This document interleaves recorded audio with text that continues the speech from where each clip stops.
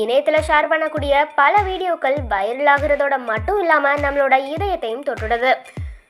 இப்போ வைரல் ஆகிட்டு இருக்கக்கூடிய ஒரு வீடியோ கூட அப்படிதான் சொல்லலாங்க.